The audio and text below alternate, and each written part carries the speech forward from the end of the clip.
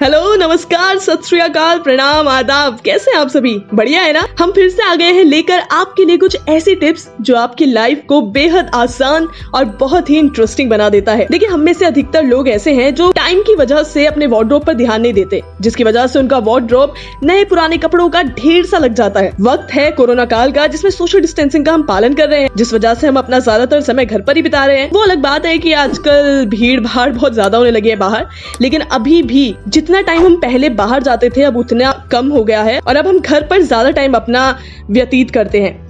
ऐसे ही टाइम का इस्तेमाल करते हुए आज वार्ड्रोप को अपडेट करते हैं। क्या कहते हैं आप सभी?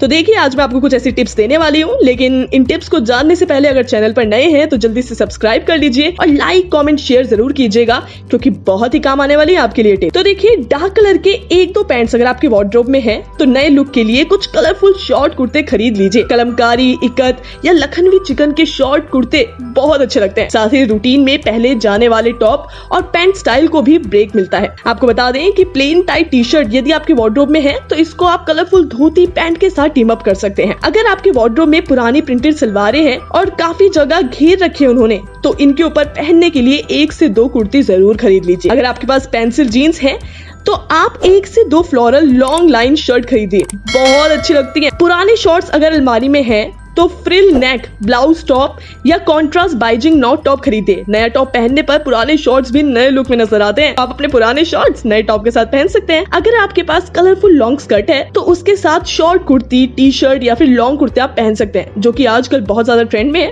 और बहुत अच्छे लगते हैं। अगर आपके पास फुल लाइन लेंथ स्कर्ट है तो इसके साथ लॉन्ग कुर्ते पहनिए और हिल्स पहनिए। आपकी हाइट अच्छी लगेगी। शॉर्ट स्कर्ट के साथ जैगिंग्स पहनना ट्रेंडी लुक देगा। साथ में एसेसरीज के तौर पर स्कार्फ भी आप ले सकते हैं। आपको बताती हूँ कि वार्ड्रोब में किन किन बातों का आपको ख्याल रखना होता है। देखिए पैंट जीन्स के लिए multi papers five layer hanger का इस्तेमाल करिए। ये वार्ड्रोब की जगह को कम घेरेगा और वार्ड्रोब को सवारे रखेगा। सॉक्स और अंडर ऑर्गेनाइजर भी वार्ड्रोब को क्लीन लुक देते हैं। आयरन की हुई शर्ट या कुर्ते हैंगर में लटकाने से अगर जगह ज़्यादा घिरती है तो उसके लिए शर्ट ऑर्गेनाइजर अच्छा रहेगा। तो आप इन चीज़ों का यूज़ कर सकते हैं और बता सकते हैं कि आपको वीडियो कैसी लगी। कैसी लगी? इसके लिए आपको कमेंट करना पड़ेगा तो कमेंट कीजिए, अपने दोस्तों के साथ शेयर कीजिए। और चैनल पर नए हैं तो जल्दी से सब्सक्राइब कर लीजिए। और भी ऐसी वीडियोस के लिए जुड़े रहिए हमारे साथ। तब तक के लिए बाय टेक केयर